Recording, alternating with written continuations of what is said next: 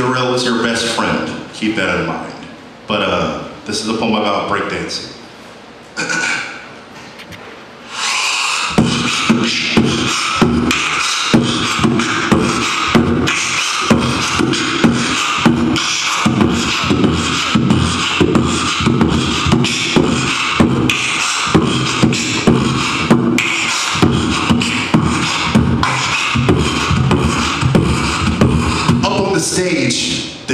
stands behind his turntables like a soldier behind the lip of a rifle. I'm only with an arsenal of vinyl records.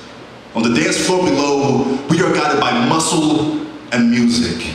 Our limbs ascend and bend to the mighty pulse of the rhythm.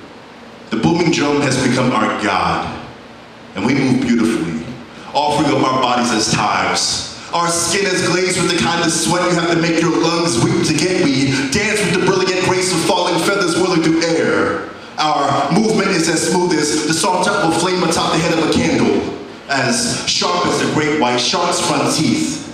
Here, all of the many faces that are gathered in a cipher can see we b-boys and b-girls, be free spirits, working each strand of our city to the peak of its limitation while just not giving a damn. We keep pushing, keep moving, keep hurling ourselves onto and up off of the earth without a second's hesitation, as if the ground is not often hard and unforgiving, as if the bones within us don't sometimes fracture and fail us. We are hip hop, the sons and daughters of the top and down rock who are drunk off percussion and adrenaline. And we are moving with our proud heartbeats sprinting through our frames. The music won't let us stop. This dance has caused us to bloom in full view of all of our sisters and brothers, both white and black, who are bobbing their heads in affirmation. Tonight, on this dance floor, our stories are told through our bodies, and each word is etched into being by our stamina, by our strength, by our ability to taunt gravity itself.